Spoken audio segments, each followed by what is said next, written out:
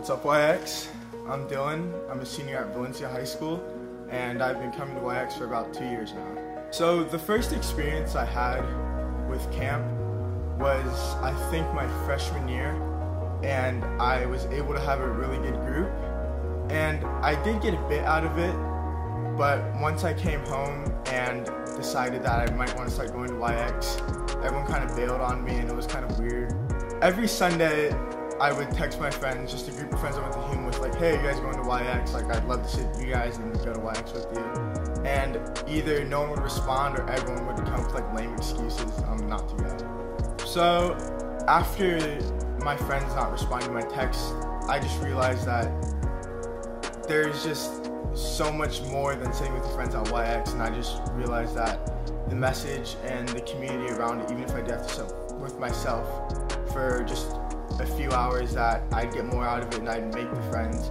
And it did end up happening, and I'm grateful for everyone I've met here. So it was day two of camp, and Johnny was speaking, and he said something along the lines of, "The grass doesn't grow greener on the other side. The grass grows greener where you water it." And to me, that just spoke out and showed me that if I give this my all, I'm just gonna grow as a person. And I knew that I wanted to grow closer to God and just feel more. So once I got back from camp, I went to a Sunday service, just a normal service at Real Life, and it was fun. I enjoyed it, and Rusty talked about just devotionals, and I was like, maybe I should try that.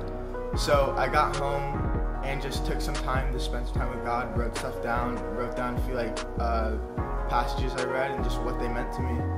And over the time, that just kind of grew as I started doing it more. I just spent more time waking up early to do it, and I just knew I had to do it every day. All that He's done for me, like when I wake up in the morning, I realize that I have to read my Bible, even if I don't feel like it, I just do it because I love Him, and it's just so much more than that. It's just gonna help me throughout my day. After I came back from my last camp, I asked a friend of mine who went two camps ago but didn't go to the last camp if he wanted to join me at YX, and he just couldn't believe that I was still going, and he kind of saw that I was, or he thought that I was being childish, and he couldn't believe that I just believed some of the stuff I believed, and he was kind of trying to talk me out of it, and it, it did hurt at first, but then I just realized, like, I need to share the gospel more people.